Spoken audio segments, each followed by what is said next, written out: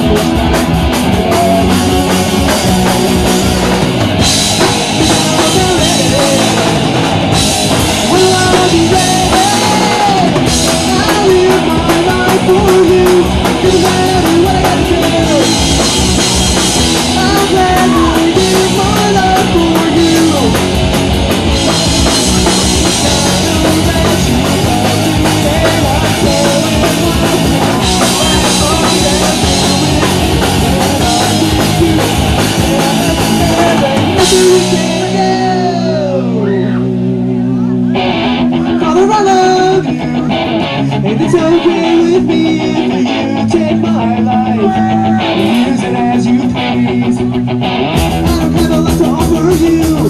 There's one thing I know is true.